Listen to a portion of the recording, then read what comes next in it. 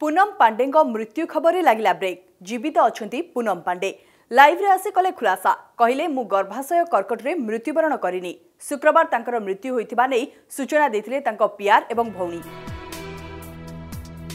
বিবাদীয় অভিনেত্রী মৃত্যু খবরে লাগিলা পুনচ্ছেদ পুনম পাণ্ডে জীবিত অনেক ইনস্টাগ্রামে সেয়ার করে কিন্তু মু মরি না বঞ্চিছি শুক্রবার পুনম পাণ্ডেঙ্ মৃত্যু খবর সকালে চারিআড়ে ব্যাপিলা তাঁর ম্যানেজর এনে কনফর্ম করে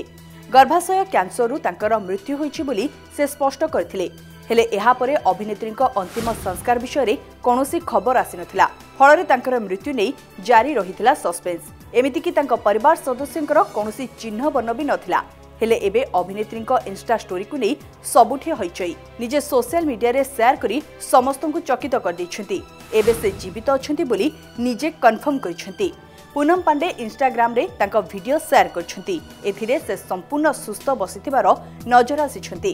ଅଭିନେତ୍ରୀ କହିଛନ୍ତି ମୁଁ ଜୀବିତ ଅଛି ମୁଁ ଗର୍ଭାଶୟ କର୍କଟରେ ମରିନଥିଲି ଦୁର୍ଭାଗ୍ୟବଶତଃ ମୁଁ ହଜାର ହଜାର ମହିଳାଙ୍କ ପାଇଁ ଏହା କରିପାରିବି ନାହିଁ ଯେଉଁମାନେ ଗର୍ଭାଶୟ କର୍କଟ ସହିତ ଯୁଦ୍ଧରେ ଜୀବନ ହରାଇଛନ୍ତି